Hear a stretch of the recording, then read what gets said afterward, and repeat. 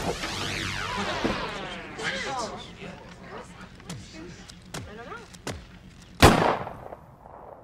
Salve a tutti carissimi, bentornati in questi 120 secondi di pallottole di pensiero, speriamo. Allora, per stare con le pallottole, quale miglior notizia? Guardate, me le offrono così su un piatto. Bologna punta la pistola contro un passante per fargli indossare la mascherina abbassata. Siamo arrivati a questo.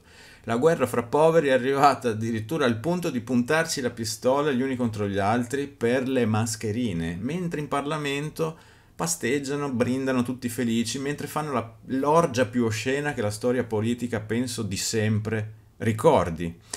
Lo psiconano con i 5 Stelle che hanno fatto una carriera odiando lo psiconano, il PD con la Lega, la Lega con il PD, non so se ci rendiamo conto. E noi abbiamo passato 15 anni, noi, molti di noi, attraverso i social, ovunque, odiandoci, scannandoci, chi difendeva il Capitan Findus, chi difendeva i grandi valori de, del PD.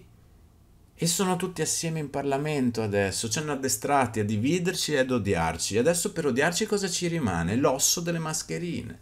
La variante inglese, la variante napoletana, eh, il, il contagio sta risalendo. Odiamoci per questo, odiamoci. C'è rimasto solo quello, ci hanno insegnato solo ad odiare odiamoci serenamente tutti assieme mentre loro fanno le loro orge. Certo che Berlusconi si aveva abituato da un pezzo alle orge.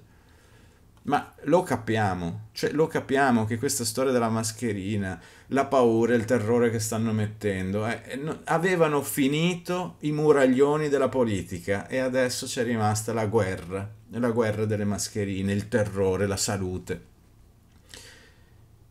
Signori Dio, risvegliali, ti prego. Allora vi lascio con due righe, due parole tratte dal film Fight Club. Siamo finiti dentro un, un, club di combattimento, non è una nazione questa. E allora il personaggio di Fight Club la sapeva lunga.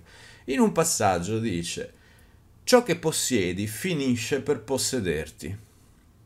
È solo quando avrai perso tutto che sarai finalmente libero di fare qualsiasi cosa. È solo quando avrete perso tutto, dico ad alcuni, che forse sarete finalmente liberi di vedere che ci hanno presi in giro e che un fazzolettino sporco sulla faccia lo potevate abbassare quando eravate all'aria aperta. Ci vediamo al prossimo video ragazzi, un carissimo abbraccio a tutti. Ciao.